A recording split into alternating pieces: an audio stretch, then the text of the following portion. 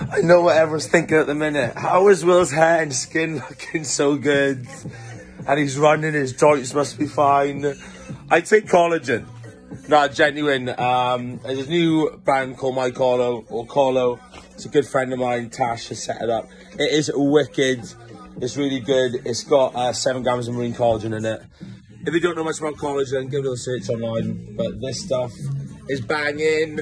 I get you a discount, but I'm not getting kicked back. It's just because I'm not liking